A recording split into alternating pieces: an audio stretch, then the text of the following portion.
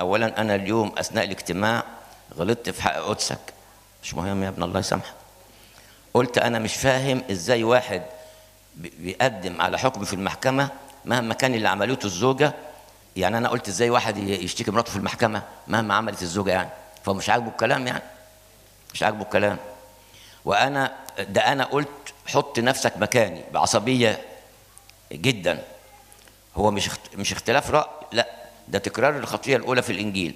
المهم أنا كنت محضر مية علشان الاجتماع المية وقعت قبل انتهاء الاجتماع. يعني أنت جاي تستفيد ولا جاي تدين أبونا وأنت مش عاجبك الإجابة بتاعته؟ حاجات غريبة جدا. وأنا جبت إزازة مية تاني وصليت مع اوضتك برافو عليك.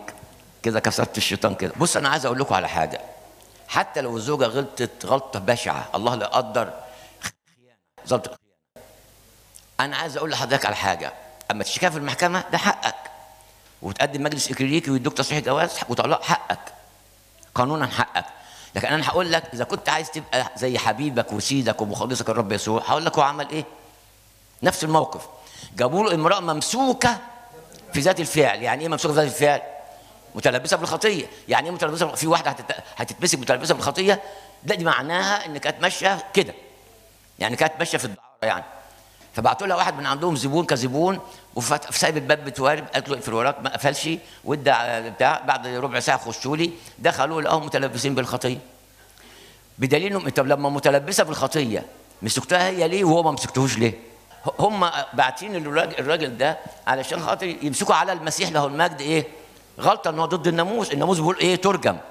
ففعلا عملوا كده فجابوها متلبسة بالخطية قالوا اهي جايبينها متلبسة. الناموس بيقول ترجم، أنت هتقول إيه؟ لو قال لهم ترجم طب أنت جبت إيه جديد؟ ما الناموس موسى بيقول كده. فالمسيح لما رد عليهم عمل إيه؟ قعد على الأرض تحت رجليهم ها والخطاة واقفين وقعد يكتب يكتب يكتب كان بيكتب إيه؟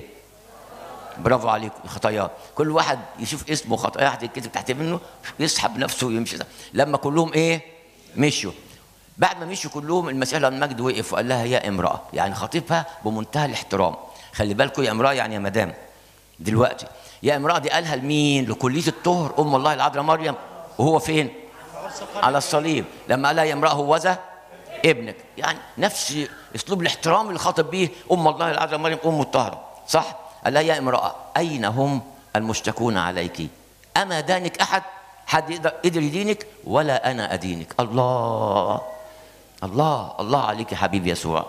الله عليك الله فعلا يا رب يسوع المسيح على حنانك وحبك وسترك وطول أناتك. هو ده ربنا. وسترها معاها ومشاها من غير ما حد يدينها. إذا كان المسيح له المجد بنفسه الديان العادل ها ما رضيش يدينها ومشى الناس كمان اللي كانوا بيشتكوا عليها يبقى ال- الراجل فينا لو مراته وقعت في الغلط الله لا قدر يروح يفضحها ويشتكيها ويبهدلها في المحاكم وفضايح بجلاجل يقتلها قتل أدبي. يبقى ده ابن المسيح إزاي يعني؟ ابن المسيح إزاي؟ هنا يا ابني أنا برد ردود من الإنجيل مش بقول رأي شخصي لو رأي شخصي بقول رأي الشخص كذا لكن ده الإنجيل. تاريخ اللي أنا مثال شك... أقول لك أقول لك كمان حاجة أكتر من كده. هقول لك.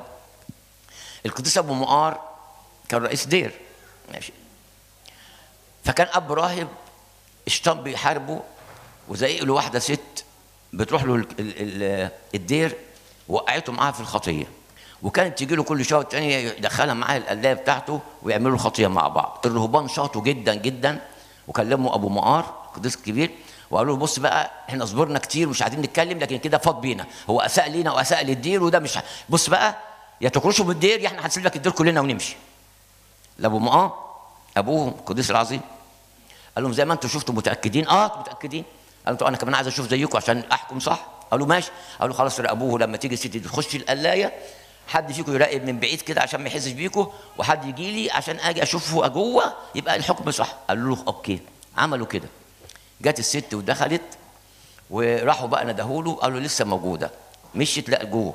راح مخبط على باب القلاية بتاعت الراهب ده فتح له راح داخل وراح قافل الباب وراه.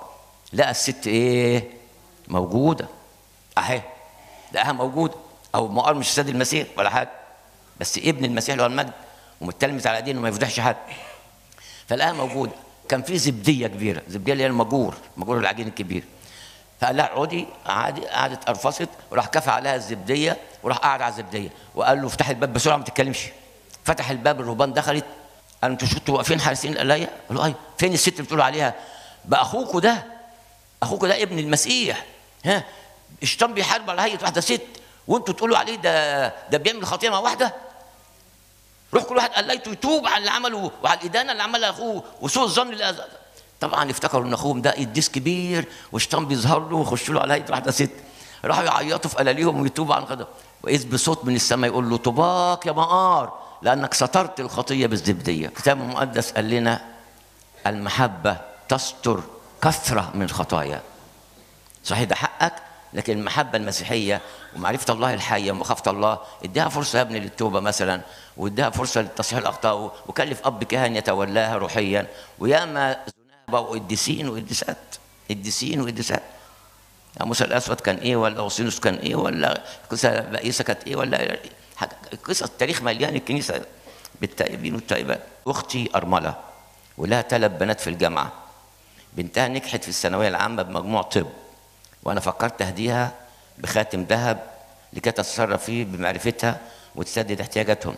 هل صح ولا أعطي لها العشور فقط؟ ارشدني يا أبي وشكرا لساعة صدرك الحنون ومحبتك. اولا بشكرك جدا على مشاعرك ومحبتك لأختك وده الصح إن إحنا نفكر في بعض ونسند بعض. طب أنت كنت هتديها خاتم ذهب. أنت لو جبت لها خاتم ذهب هتاخد الخاتم ده مش هتقدر تبيعه. ليه؟ لأن أكيد هت... هت... هت... فين الخاتم اللي جبته لك ولا. مش هتشوفيه في ايديهم.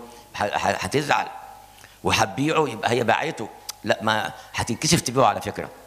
لكن الصح إنك تديها فلوس ثمن ثمن الخاتم. ولا أنت أختي وما بيني وما بينك ما حدش هيعرف بالموضوع ده خالص وإحنا اخوات ولازم ندلل على بعض وده ما بيني وبينك حتى مش عايز أولادك يعرفوا. فيعني براحتك خالص يعني كده. وتديها. لكن العشور فقط. طب ما تديها ثمن الخاتم. يعني يا خاتم ذهب يا العشور بس.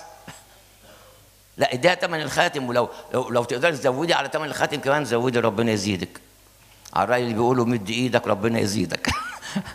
بقى مهم جدا إن إحنا نبقى عندنا عطاء فعلا كده وأنا مبسوط منك إنك بتفكري في أختك يا بنتي. ربنا يبارك حياتك.